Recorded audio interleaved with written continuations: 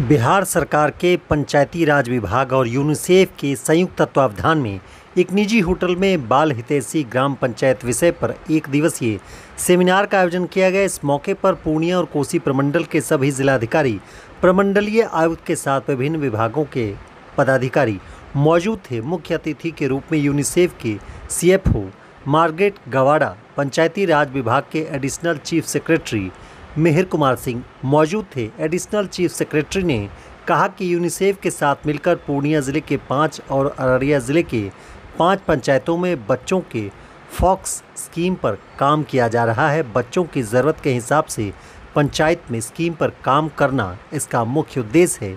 उन्होंने कहा कि पूर्णिया और कोसी प्रमंडल के सात ज़िले में बच्चों के विकास के लिए काम किए जाएँगे। इसके लिए दो महीने का टास्क फोर्स गठित किया गया है। डाटा कलेक्शन के बाद सातों जिलों में काम किए जाएँगे।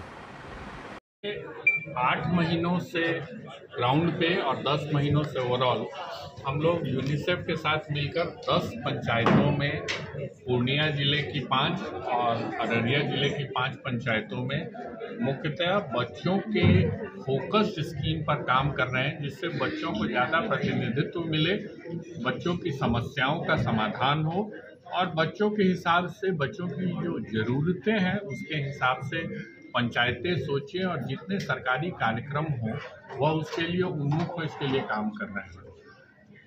अगले दो महीने में सारे डेटा कम्प्लीटली आपके सामने आ रहे हैं, डेटा कलेक्ट किए जा रहे हैं, लेकिन इसके जो रिजल्ट्स हैं, परिणाम हैं, काफ़ी उत्साही, उत्साहजनक हैं और हम लोगों ने यह सोचा है कि बच्चों के भविष्य के लिए जो जो योजनाएँ हैं इन सात जिलों, पूर्णिया प्रमंडल के चार जिलों और कोसी प्रमंडल के तीन जिलों, सात जिलों की सभी पंचायतों में लागू किया जाए, क्योंकि बिहार में सबसे पिछड़े जिलों में से यही है और इसमें जैसे ही हम लोग इस कार्यक्रम को कर लेंगे तो एक बहुत बड़ी सफलता मिलेगी और करीब करीब एक करोड़ साठ लाख जो हमारी पॉपुलेशन है उसको लाभ मिलेगा जिसमें लगभग 25 प्रतिशत बच्चे ही हैं।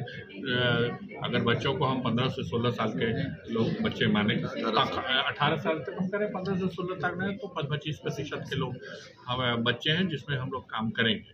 और अंत में मैं यह कहना चाहूँगा कि जैसे जैसे हम लोग बच्चों के भविष्य की ओर काम करेंगे, हम लोगों का ह्यूमन डेवलपमेंट इंडेक्स बहुत तेज़ी से बढ़ेगा। हम लोग एक्सपेक्ट करते हैं कि अगले दो वर्षों के अंतर्गत देश का जो एस का जो लेवल है, देश के जो इंडिकेटर्स हैं एन के या और भी अन्य चीज़ों के, उसको हम लोग अचीव कर लेंगे जैसे पास कर लेंगे कुपोषण चाइल्ड ट्रैफिकिंग चाइल्ड लेबर ये सब इसके पार्ट है। और जब तक इन सारी चीज़ों पे समेकित ढंग से काम नहीं होगा, बहुत सारे विभाग हैं जिसमें ऑलरेडी स्कीम्स चल रही हैं। स्कीम्स चल रही हैं। स्कीम्स को कोऑर्डिनेट करके और उसको एक डायरेक्शन देने की बात है कि जिससे कि बच्चे मांगे, बच्चों के गार्जियन मांगे और आने के बाद किस ढंग से उसको लोगों को सबसे ज़्यादा बेनिफिट मिल सके मिल सके इसके लिए है। तो जैसा मैंने आपको शुरू में ही कहा कि यह कोऑर्डिनेशन की स्कीम है और डिमांड क्रिएट करने की स्कीम है कि जिससे लोग इसके ऊपर सेंसिटिव हो सके और सेंसिटिव होकर काम कर सकें। प्लान कर रहे हैं। सातों जिलों में अभी हम लोगों ने यूनिसेफ को यह चैलेंज दिया है कि यूनिसेफ कुछ पोर्शन अपना लगाए एंड यूनिसेफ ने काइंडली इसको एक्सेप्ट कर लिया। तो कुछ पोर्शन पैसा यूनिसेफ का लगाएगा बेसिकली प्रोजेक्ट कोऑर्डिनेशन और बाकी चीज़ के लिए। और अधिकांश पैसे हम लोग लगाएँगे। इसके अलावा गवर्नमेंट की जो स्कीम्स हैं, वो तो चल ही रही हैं। जो मेजोरिटी पार्ट है, जो 90 परसेंट पार्ट है, वो गवर्नमेंट की स्कीम्स ऑलरेडी चल रही है। बस 10 परसेंट हमको कोऑर्डिनेशन और रिज़ल्ट ओरिएंटेशन की ओर लाना है, जिस तरह से डीएम पूर्णिया बता रहे थे। अगर आपने उनका भाषण सुना होगा। तो डेटा बताया कि भाई डेटा वाइज हम कितना करेंगे। तो डेटा लगा के हम आपको बात करेंगे। कि भाई हम इस समय बेस लाइन में हैं और? सभी पंचायत सभी।